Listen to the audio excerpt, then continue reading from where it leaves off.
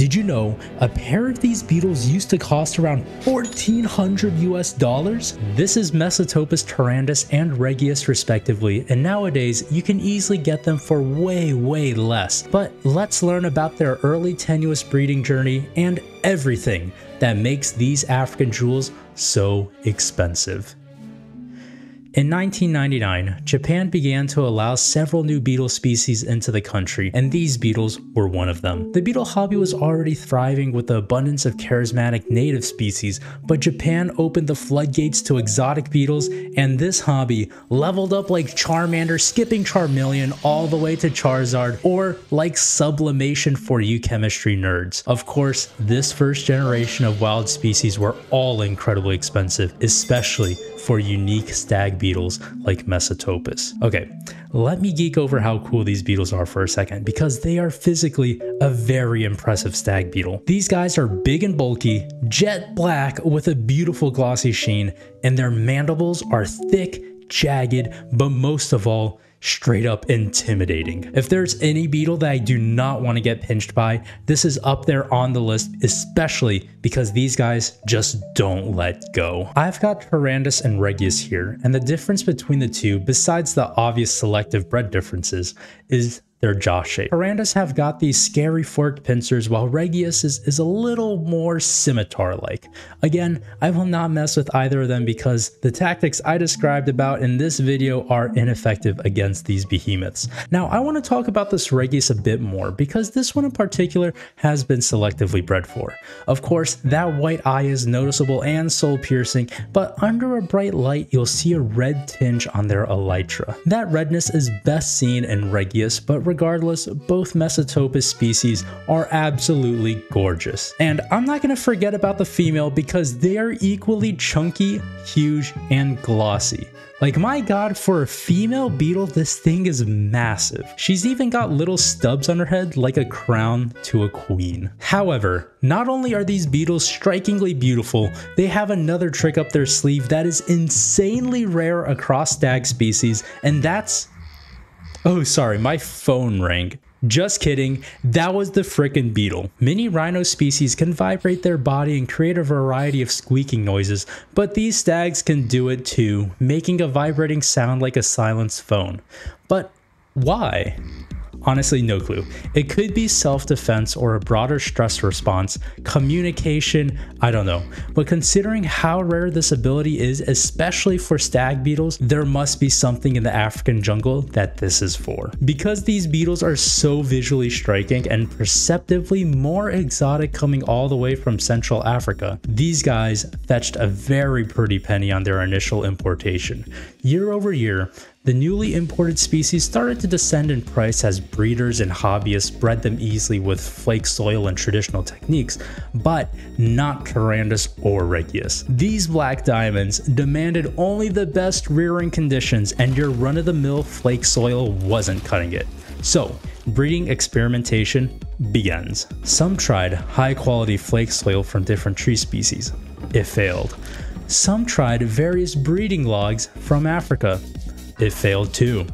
Some tried both of those with different setups and again it failed. And then someone tried using kinshi.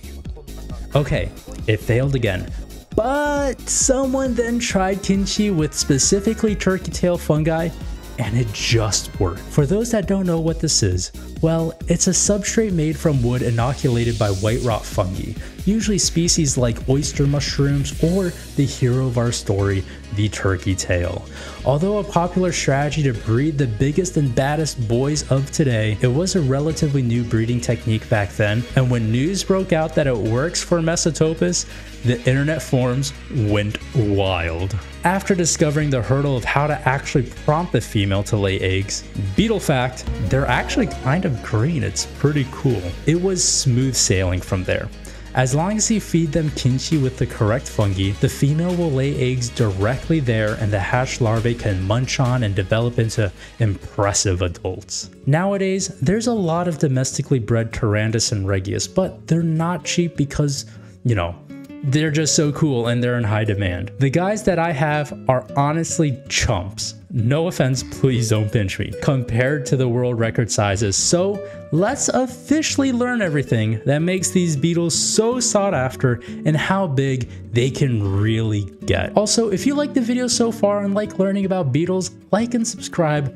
But back to Hailing from the jungles of Central Africa, particularly Cameroon and both Congos, their scientific name Mesotopus literally means middle region, likely referring to their place of origin, while Tarandus means reindeer. Ah yes, once again, the stag connection. And Regius means royal or kingly. There was a time where Regius was debated to be a subspecies to Tarandus, but it's now widely accepted that they're separate species, of which supports a decent income for some villagers as collectors and middlemen flock to grab a wild species. I'll talk about that fascinating microeconomy in another video. But what makes these guys so great for beetle keeping is their long life cycle. Larvae usually develop around 7 to 12 months, but their adult lives can last one to two years, which is absolutely amazing for stag beetles. Now, this is a blessing and a ridiculously minor curse because they will gobble up your jelly or fruit as they are very hungry, hungry cat or I mean beetles. So they do rack up a decent lifetime cost as compared to other species. And that's not even including breeding, which then you'll have to buy kinshi, which is a lot pricier than flake soil. But for competitive breeders aiming to break size records, it's a must to regulate kinshi and replace as necessary to maximize nutrition for the larvae. Diligently keep track of your larvae, and you might have the next largest Mesotopus tarandus if it's bigger than. Wait, am I reading that right? 94.5 millimeters, and for Regius, a whopping 96.4. Like I said, they're significantly larger than mine. And full disclosure, I got these for $55 USD, but the large ones will go for hundreds as fanatics scramble to breed the next world record. These beetles are absolutely incredible, and I hope you enjoyed learning more about them. Check out this video about Africa's beetle economy if it's out, and as always, thank you to my members' infinite patience and support, and I hope y'all have a great rest of your day.